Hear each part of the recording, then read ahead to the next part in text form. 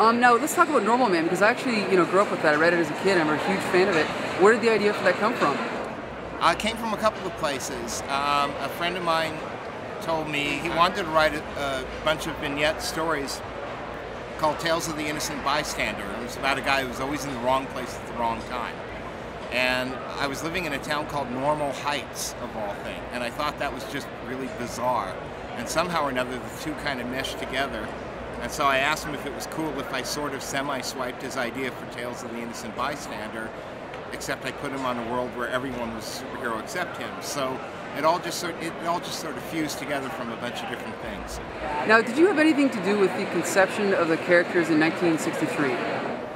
No, well, except for one of them, Johnny Beyond. But okay. other than that, um, they were all Alan, Steve, and Rick. And uh, Johnny Beyond, um, Alan called me up, and uh, he said uh, in his very thick English accent, "What would Doctor Strange look like if he was Jack Kerouac?" And I said, "He'd look like Jaime Hernandez." And Alan dropped the phone laughing and goes, "Yeah, that's it." so that, that's that's how we created Johnny Beyond. That's great. Okay, so now, and what, what, do you see in the near future or in the next five to ten years for Image Comics? Oh, you know, it's really hard to say. Um, uh, movement into digital comics, for one thing, of course, you know, that's fairly obvious at this point. Um, I think Image will, will continue to be one of the most diverse companies publishing comics out there because we don't really have any um, genre, any kind of.